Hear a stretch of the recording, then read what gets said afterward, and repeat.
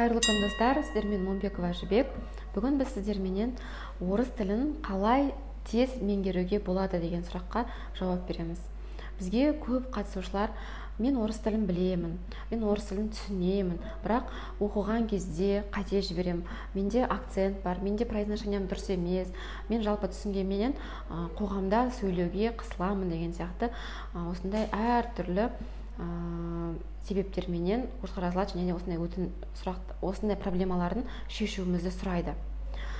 Ә, достар енді біз қазақ елі болғаннан кейін бізде жалпы ә, барлық телевидение болсын иә барлық радио иә және де адамдар жалпы иә газет журналдардың барлығы көбінесе ол орыс тілінде жүргізіледі. Сондықтан біздегі әрбір адам ол қазақ халқы именно қазақ халқы. Басқа елдерге қарағанда орыс тілін сөйлей алмағанменен ол тілде бірақ түсінеді көбісі иә. Сондықтан бізге именно қазақ еліне орыс тілін басынан бастап алфавиттен бастап үйренудің қажеті жоқ. Орыс тілін тез арада үйреніп алуға мүмкіндігі өте жоғары. Себебі біз уже орыс тілін түсінеміз. Тек қана бір екі жер ғана дұрыстап жіберсек қорқыныштан арылсақ онда біз бүкіл проблемамызды шешіп орыс тілінде еркін сөйлей аламыз негізі. Енді мен сіздерге қазір нақты нақты жолдарын сіздерге айтып өтемін. Орыс тіліне қалай қандай техникаларды қандай істерді қолға алсаңыз сіз белгілі бір уақыттан кейін сөйлеп кете аласыз деген сияқты сізге кеңестер беретін боламын. Ең бірінші достар ол практика жасау керексіз мен сізге жаңа жоғарыда айттым иә? Сіз орыс тілін түсінесіз бірақ қысылып ұялып тұрасыз. Оның себебі неде? Оның себебі сіз просто қысыласыз ұяласыз практика жасаудан қорқасыз. Бірақ бірақ достар сіздер практика жасамайынша сіз ол, тілде сөйлеп көрмейінше ол тілде сөйлей алмайсыздар достар. Сондықтан міндетті түрде практика жасауларыңыз қажет. Яғни ә, бірақ осы сөзден кейін сіздер былай айтуларыңыз мүмкін. Практика жасайын десем де мен орыс тіліндегі ә, кейбір жерлерін қате жіберемін окончаниясын дұрыс жалғамаймын жалғауларды қате жалғап қоюым мүмкін сондықтан мен сөйлей алмаймын деп айтасыздар иә? Енді былай жасаймыз достар. Сіздер практика жасайсыздар ол үшін өзіңізге өзіңіз сияқты иә? Сол мақсатта сол орыс тілін үйренемін деген мақсатта жүрген кісіні табасыздар. Ол сіздің досыңыз болады. Қоғамда ондай адамдар өте көп. Егер сіз орысша білмесеңіз мен сізге айта аламын сенімді түрде. Сіздің достарыңыз да орысша білмейді иә негізі. Сондықтан достарыңызды табасыз дағыны олармен келісімге отырып давайте орыс тілінде сөйлеп бастайық бүгіннен бастап деп білген нәрселеріңізді орысша сөйлесе бастайсыздар. Орысша хат жазсыңыздар біз бір бірлеріңізбен сообщение жазсыңыздар. Немесе орысша бір фильмді талқылап соны айтып беріңіздер бір бірлеріңізге ол өте маңызды достар. Қате болса да сөйлей беру ол өте маңызды. Не үшін маңызды білесіздер ма? Себебі әрбір тілді адам меңгеретін кезде ол қате сөйлеп бастайды. Елестетіңіздерші кішкентай кішкентай кездеріңізде жасыңыз екіде үште кезде сіз қате сөйлеп бастадыңыз ғой дұрыс па?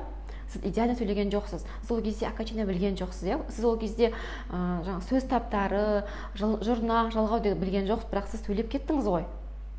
Ол неден? Ол қате сөйлеп сөйлеп ары түзеліп кеттіңіздер. Сондықтан дәл сол методты сіздер естеріңізге түсіріп қате болса да сөйлеуден бастаңыздар енді екінші жағдай екінші мәселе ол грамматиканы білмеймін ғой. Мен сөйлеген кезде ә, жалғауларды қате жалғап, қой, жалғап қойсам ұятқа қаламын ғой. Одан қайта сөйлемей ақ қояйын деген кісілер болады араларыңызда иә? Ол кісілерге айтатын кеңесім негізі орыс тілінің грамматикасы сіздер ойлағандай қатты қиын емес. Иә орыс тілінің грамматикасы қазақ тіліне қарағанда кішкене күрделіреу күрделірек оның өзінің бір ә, нюанстары бар орыс тілінің қазақ тілінен ерекшеліктері. Бірақ сіз дәл сол ерекшелікті үйреніп алсаңыз ә, және де орыс тілінің өзінің ең басты басты басты үш төрт ережесі бар. Ол ережелердің барлығын ә, мен сіздерге келесі видеоларда айтатын боламын. Қандай ережелер бар оны қалай тез жаттап алуға болады деген сияқты. Үш ережесі бар. Үш ақ ереже үш кесте. Мынандай үш кесте соны кәдімгідей көбейту кесте сияқты жаттап алсаңыздар онда орыс тілінде орыс тілінің грамматикасы сіздерге мүлдем қиын болмайды. Сондықтан екінші нәрсе ол грамматика. Соны үш кестені үш ә, кестені біліп алсаңыздар онда болды деген сөз. Мен айта салайын оны сіздерге. Ең бірінші ол орыс тіліндегі родтарды одан кейін орыс тілінің склонениясын яғни септелуін сонымен қатар орыс тілінің спряжениясын яғни жіктелуін біліп алсаңыздар әрі қарап сіздер кез келген кітапты оқу барысында сіздер уже түсіне бастайсыздар. Мына жерде қандай жалғау жалғанып тұр ол не үшін жалғанып тұр? А мына жерге қандай жалғау керек? Не жалғау керек? Мына ә, қалай дұрыс болады? Олардың барлығын сіздер уже біле бастайсыздар. Дәл осы үш кестені жаттау арқылы. Келесі бір ә, бөлім орыс тілін үйренудегі. Ол достар ол көшіріп жазу. Осы көшіріп жазуды сіздер қолға алатын болсаңыздар иә түсініп тұрмын ол ә, сіздер үшін өте бір ә, еленбейтін өте құндылығы жоқ сияқты бір жұмыс болуы мүмкін бірақ ол өте өте маңызды. Себебі сіздер көшіріп жазған кезде сіздер ең бірінші ә, сезім мүшелеріңіз көру иә оны көресіздер. Одан кейін оны жаза бастайсыздар иә яғни қолыңыз сезім мүшесі жұмыс жасайды сезу екінші мүшеңіз жұмыс жасайды. Одан кейін оны дауыстап ешек оқысаңыздар оқысаңыздар сонда оны оқисыздар иә? Сонымен қатар оны тыңдайсыздар. Сонда сіздің үш төрт сезім мүшеңіз бірге қол, жұмыс жасаған кезде және де қолыңызбен жазып көрген нәрсені айтып жасаған кезде сонда сіз қате жазудан сақтанасыздар. Кез келген дүниені сіздер дұрыс жазып үйренесіздер. Мысалы қараңыздар хорошо деп айтамыз иә? Барлық нәрсе сөзде кез келген диалогта иә хорошо деп айтамыз да бірақ біз білеміз автоматически білеміз да. Хорошо деп жазылатын. бірақ айтқан кезде хорошо деп айтамыз иә? Сіздер оны қалай білесіздер? Оны сіздер көбірек кітап оқығаннан көбірек сол нәрсені көргеннен көбірек жазғаннан білесіздер. Сондықтан осындай көп қате жіберемін грамматикалық қате жіберемін ә, бір қате жазған кезде де қате жіберемін деген дейтін кісілер болатын болса сіздер міндетті түрде осы техниканы пайдаланыңыздар. Күніне жарты бет кітап көшіріп жазу. Тек қана көшіріп жаза беру. Оқисыз көшіріп жазасыз оқисыз көшіріп жаза бересіз. Сонда сізде кәдімгідей бір айдың ішінде әдемі результат пайда болады достар. Келесі бір бөлім ол орыс тілін үйренудегі. Ол пересказ яғни қайта айтып беру. Түсінік айту ғой түсінік айту былайша айтқан кезде. Мектепте бізде не үшін түсінік айтуға береді не үшін бізге өлең жаттатады? Не үшін бізге сұрақ қойып соған жауап бер деп бізді бізге осындай талаптар қоятын еді. Соны естеріңізге түсіріңіздерші достар. Яғни түсінік айтсаңыздар сіздер сол нәрсені сол, сол нәрсені сіздер бірінші естисіздер ойларыңызда қорытасыздар сондықтан бұл түсінік айтудың маңыздылығы өте жоғары. Енді сіздер мындай сұрақтар туындауы мүмкін. Мен орыс тілін сөйлей, сөйлей алмасам мен орыс тілінде кейбір сөздерді түсінбесем қалай мен пересказ жасаймын иә? мен қалай айтып беремін түсінгенімді деп айтасыздар иә мысалы. Ол кезде сіздер түсінбесеңіздер де ең болмағанда күніне үш төрт сөйлем жаттаңыздар. Сөйлемді жаттау керексіздер немесе бір бір шумақ өлең жаттаңыздар.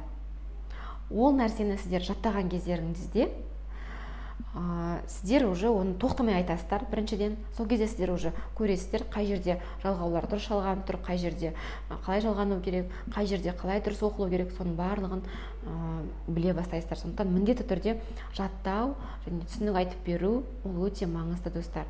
Келесі бір ә, этап ол диктант жазу. Диктанттар негізі интернетте өте көп интернетте. Сонымен қатар телеграм каналдарда диктанттар көп. Ә, немесе біз сізге осы жерде астына ссылка қалдырамыз диктанттың ссылкасын. Сол жерге кіріп диктант жазсаңыздар да болады. Яғни бұл жерде диктант жазған кезде сіздер естисіздер бірақ оны жазған кезде уже сіздер ойлана бастайсыздар. Мына жер қалай жазылатын еді бұл сөз қандай еді деген сияқты. Күнделікті диктант жазу немесе аптасына екі үш рет диктант жазу ол сіздердің орыс тіліне деген қызығушылықтарыңызды оятады біріншіден. Екіншіден орыс тілін үйренуге бір үлкен қадам жасауларыңызға әсер ететін болады. Достар келесі мен сіздерге қазір ә, бес техникасын айттым. Орыс тілін үйренудің бес жолын түсіндіріп бердім. Келесі видеоларда сізге сіздің орыс тілін не үшін үйренбей жатқаныңызды қандай оған сылтауларды қалай жеңу керек оған мотивацияны қалай алу керек деген сияқты видеолармен бөлісетін боламын рахмет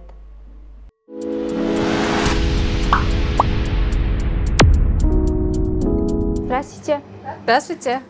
А, сколько тенге? С вас 500 тенге. А, у вас а, не хватает 300 тенге? Может, 300? А, да, 300 тенге. қиналмай қазақша сөйлей берсеңізші. Иә иә девушка тоқтай тұрыңыз телефоныңызды қалдырып кеттіңіз. Ай рахмет көп көп. Рахмет сізге көп. Мен жаңа орыс тілінде қате сөйлеп ұмытып кетіппін ғой телефонды. Ой мен сіздің жағдайыңызды өте жақсы түсініп тұрмын. Мен де сіздің орныңызда болғанмын. Бірақ акцент қате сөйлеу деген сияқты проблемалардың барлығынан кемел ой практикумына қатысып арылдым. Қалай ойлайсыз? Мен сол практикумнан нәтиже алып шыға аламын ба? Иә әрине. Нәтиже алуыңа кепілдік береді. Нәтижесі болса жақсы екен. Ал ол практикумға қалай жазылсақ болады? Маған номеріңді айт мен саған ссылкасын жіберемін.